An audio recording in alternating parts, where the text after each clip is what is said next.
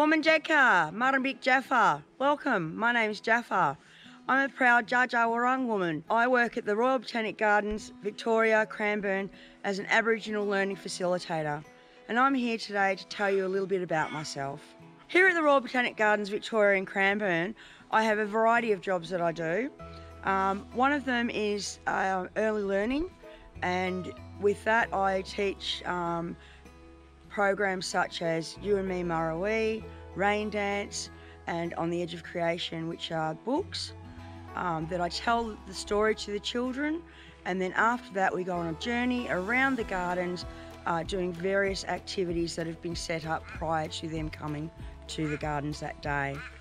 The other things that I also do are secondary and um, primary uh, groups as well. And one of the things that I mainly work on is um, the Aboriginal programs such as Shared Country and Bush Foods. The thing I like most about my job is sharing my knowledge, especially Aboriginal knowledge, um, with children um, from schools, but also my playgroupers, so my lo the local Aboriginal children who come to playgroup and their carers and parents and teaching them Boonwurrung language and culture um, at play. The part of the gardens that I find the most special to me or that I connect with the most is where I am now, which is out in the which is out in the bushland and especially at Stringybark picnic area. This is where I have my playgroup and quite often see many different animals, especially the bandicoot, um, of which we see regularly.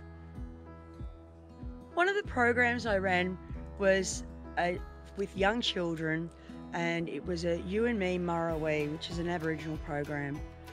And the best thing that, that this little boy said to me was, When I grow up, I want to be an Aboriginal.